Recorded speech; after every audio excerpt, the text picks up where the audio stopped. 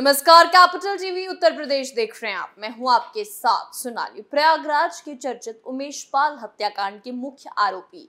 Mafia Atiq Ahmad की मुश्किलें कम होने का नाम नहीं ले रही। आपको बता दें कि उमेश पाल मर्डर केस में अतीक के खिलाफ वारंट भी जारी कर दिया गया है। ऐसा माना जा रहा है कि जल्द ही यूपी पुलिस अतीक को फिर से प्रयागराज लेकर आ सकती है। इस रिपोर्ट देखिए।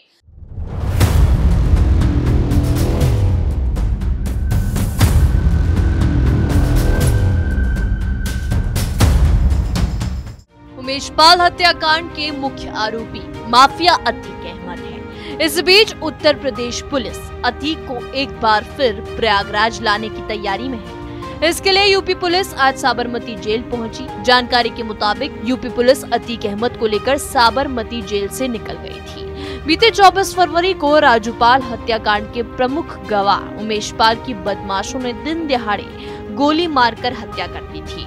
उमेश पाल अपहरण केस में हाल ही में अतीक को प्रयागराज लाया गया था। यहाँ कोर्ट ने अतीक को उम्र कैद की सजा सुनाई थी। वहीं उसके भाई अशरफ को इस केस में बरी कर दिया गया। अतीक और अशरफ दोनों उमेश मर्डर केस के आरोपी हैं। इसके अलावा पुलिस ने अतीक की पत्नी शायस्ता को भी इस केस में नामजद आरोपी बनाया है।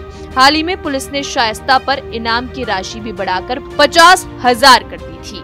वहीं खबर ये भी है कि अतीक के भाई अशरफ को भी यूपी पुलिस प्रयागराज ला सकती है। इस हत्याकांड में पुलिस ने अब तक दो बदमाशों को एनकाउंटर में ढेर कर दिया है। वहीं अन्य बदमाशों की गिरफ्तारी के लिए पुलिस ने इनाम की घोषणा करते हुए छापेमारी की। पुलिस के अनुसार अतीक के भाई अशरफ ने माफिया के इशारे पर बरेली जेल से वारदात को अंजाम देने की साजिश रची।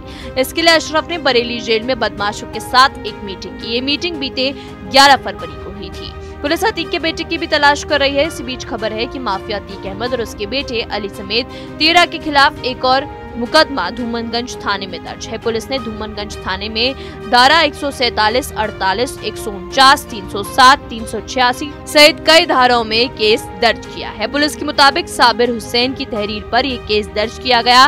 पीड़ित से माफिया अतीक अहमद के बेटे अली और उसके गुर्गे ने एक करोड़ की रंगदारी मांगी थी। रंगदारी नहीं होने पर पीड़ित को जान से मारने की धमकी दी गई थी।